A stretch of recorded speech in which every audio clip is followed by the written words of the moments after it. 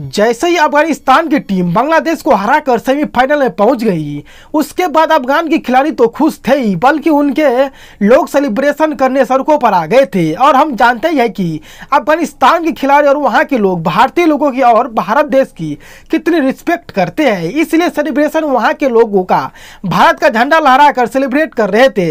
यहाँ तक कि राशिद खान ने अपने इंस्टा पर पोस्ट अपनी और रोहित शर्मा की फ़ोटो पोस्ट करते हुए लिखा था कि मुंबई से आया मेरा दोस्त। दोस्तों, दोनों देशवासियों में जो प्यार दिखता है कि दोनों देश के लोगों में भाईचारा है, जितने खुश अफगान के लोग थे, उतने ही खुश भारतीय लोग भी उनके लिए थे। तो दोस्तों, आपकी राय में इससे अफ़गानिस्तान और इंडिया टीम के बारे में आप लोगों का क्या कहना है? कमेंट करके ज़रूर बताइएगा। और ऐसे ही दोस्तों क्रिकेट खबर सबसे पहले पाना चाहते हैं तो इस चैनल को आप लोग ज़रूर सब्सक्राइब कर लीजिएगा, क्योंकि इस चैनल पर हम क्रिकेट की पल पल की खबर लेकर आते रहते हैं। तो सब्सक्राइब करना बिल्कुल नहीं भूलिएगा।